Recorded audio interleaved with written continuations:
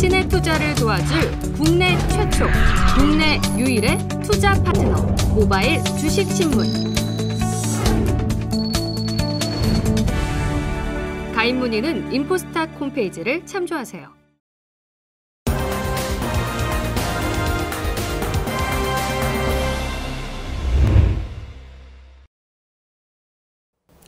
네, 6월 22일 월요일입니다. 마감 체크 시작하겠습니다. 오늘 시장의 특징부터 정리해 보겠습니다. 네, 오늘 시장의 핵심 포인트는 아마도 어, 지금부터 7월달 초반까지를 지배할 논리일 것 같은데요. 네. 어, 시장이 2분기에 안 좋은 지표들을 모두 무시했던 것은 3분기 빠른 회복을 전제로 둔 상황이었거든요. 네. 뭐 증시의 반등, 대부분 자산 가격의 상승이 모두 어, 경제의 빠른 재개를 염두에 둔 흐름이었고 실제로 그와 같은 시그널은 즉 바닥 시그널은 나타난 상황인데 이제는 바닥 시그널로 부족한 거죠. 탄력적으로 올라와야 되는 시기입니다. 네. 근데 오늘 발표된 6월 수출 실적을 보면 과연 그게 가능할까 조금 의문스러운 부분이 있는데요. 음. 자, 먼저 준비된 그림 보시면 뭐 미국의 그림입니다만 우리도 똑같이 마찬가지입니다. 어, 지금 지수 흐름을 보면 거의 다시 전고점까지 간 상황인데 실제로 이익 모멘텀 자체는 이런 식으로 떨어져 있는 상황이거든요. 네. 이 괴리가 굉장히 크게 벌어졌고 과거 어, 버블붐 그 다음에 글로벌 금융위기 두 번의 사례를 봤을 때도 모두 지수가 뒤늦게 떨어졌다라는 거죠. 그래서 이익 모멘텀이 떨어지고 나서 그걸 확인하고 나서야 떨어졌다라는 것입니다. 그래서 현재 이렇게 떨어진 이익 모멘텀이 맞을지 틀릴지도 모릅니다. 최근에 워낙 예측 자체가 다안 맞고 있기 때문에 네. 이것도 맞을지 틀릴지 아직 정확하게 알 수 없는 상황이지만 분명한 것은 빠른 회복이 가능하냐 그렇지 않느냐에 따라서 이 괴리가 틀렸느냐 즉 이게 올라가서 합쳐지느냐 얘가 떨어지면서 합쳐지느냐는 결국 맞춰지는 거죠. 왜냐하면 그 과거의 전반적인 추이를 몇십 년을 살펴봤을 때 전체적으로 추세가 맞거든요. 그러면 현재 구간에서 이게 급격하게 떨어졌다라는 건 얘가 빨리 올라가서 맞추던 얘가 내려와서 맞추던 둘 중에 하나인데 시장이 지금 가능성은 이게 올라간다라고 보고 있는 거 아니에요? 그러니까 이걸 확인하는 구간이 바로 7월 달이라는 것이고 그 7월 달에 이 기대감을 만족시키지 못할 경우에는 어느 정도의 변동성을 좀 피해갈 수 없는 구간이 되겠죠. 네. 자, 그래서 우리 시장의 지금 흐름을 보면 그것을 반영하지 않았나라는 판단을 해볼 수밖에 없는데요. 자, 지금 뭐 시간 관계에서 유가증권 시장밖에 설명을 못 드리겠습니다만 뭡니까? 네이버거든요. 카카오입니다. 그리고 어, 이쪽에 이 시뻘건색은 뭘까요? 현대건설이죠. 현대건설이죠. 예. 그러면 몇몇 개 종목을 제외하면 다 시퍼런색입니다. 지금 그러면 대부분 마이너스. 지금 유가증권 시장 한 1000개 중에 한 550개 정도는 마이너스, 한 350개 정도가 지금 플러스, 나머지 보합권 정도 이렇게 지금 구분이 되고 있단 말이에요. 350개가 의미가 있을까요? 의미 있는 정도의 반등을 보이고 있는 종목 눈에 뻔히 보인단 말이죠. 그래서 지금 현재 시장에 대해서는 그동안 꾸준하게 언급드렸지만 종목에 집중이 필요하다라는 말씀을 드렸던 이유가 거기에 있다. 소위 우리가 얘기했던 BBIG 다 있지 않습니까? 네이버 신고가, 셀트리온 신고가, LG화학 신고가 들어가다 지금 약간 밀리고 있는 모습이고요. N소프트도 지금 신고가란 말이죠. 그래서 이런 종목군들로 쏠림, 왜 이들 종목으로 왜 가느냐 이렇게 비싼데 이게 안전하기 때문이죠. 현금도 남아들고 앞으로도 더 성장할 것 같고 얘마저 무너지면 시장이 조정으로 가는 거죠.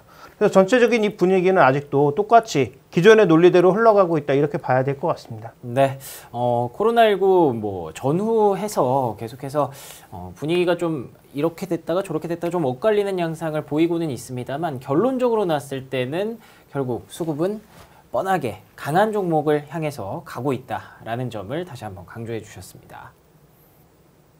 내일장 체크포인트 보겠습니다. 네.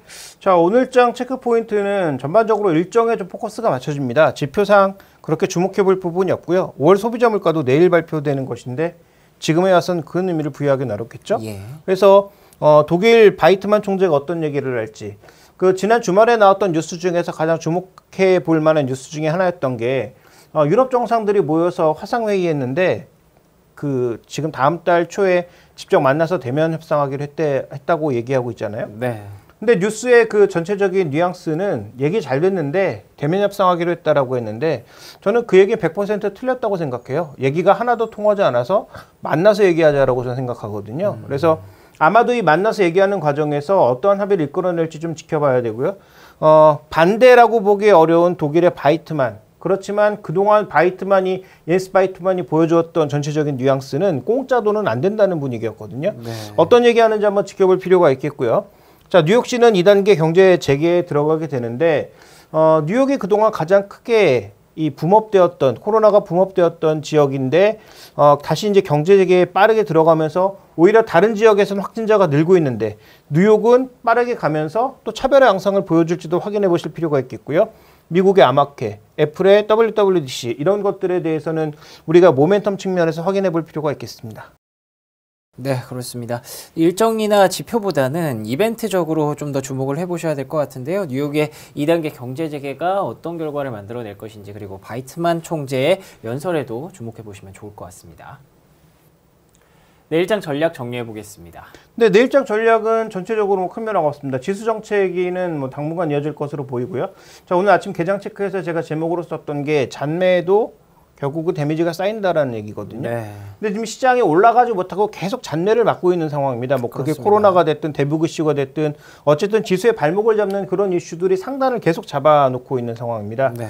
어, 그러면서 하락 종목 수가 계속 증가하고 있는 양상이거든요. 그래서 현재 이건 그러면 딱 한마디로 요약해 볼 수 있는 게 대형주에서 수급이 빠져버리면 지수도 한번 눌러줄 수 있다는 그런 얘기란 말이죠. 그래서 어, 지지난, 아, 지난주죠. 지난주에 우선주의 급등으로 한번 야기되었던 시장의 순환매 끝자락 이런 부분에 대한 생각이 자꾸 들 수밖에 없게 만드는 그런 장세 분위기가 연출이 되고 있습니다. 네. 뭐 그렇다고 해서 시장의 상승 추세가 눌러앉거나 어, 무너지는 것은 아니지만 현재 구간에서 분명하게 한번 체크해보고 넘어가야 되는 것은 잔매 장세 없다고 했는데 현재 시장의 이 저가 매수의 체력은 이러한 잔매를 어디까지 버틸 수 있을지 과연 7월 달에 빠르게 눈에 띄게 개선되는 펀더멘탈 지표를 보지 못하고서도 버틸 수 있을 정도의 체력인지 아마도 이런 것들을 해결하는 구간이 적어도 7월 초반까지는 이어진다라고 봐야 될 것 같습니다. 네. 그래서 어, 여러 번 언급드렸지만 지금은 현금을 늘리는 것이 아닌 종목 수의 숫자를 줄이고 핵심 종목을 옮겨 타는 것이 전략의 핵심이다라는 말씀을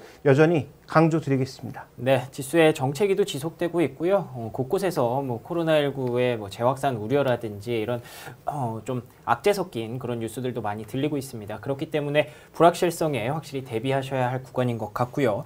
종목 축소를 지속해야 한다는 점 마지막으로 강조를 해주셨습니다. 저희는 오늘 여기서 정리하도록 하고요. 내일 다시 인사드리겠습니다. 고맙습니다.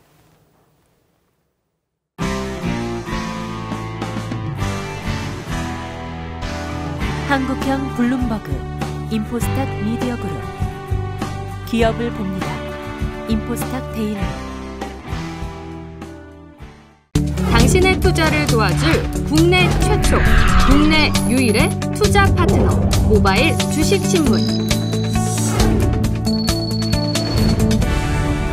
가입 문의는 인포스탁 홈페이지를 참조하세요.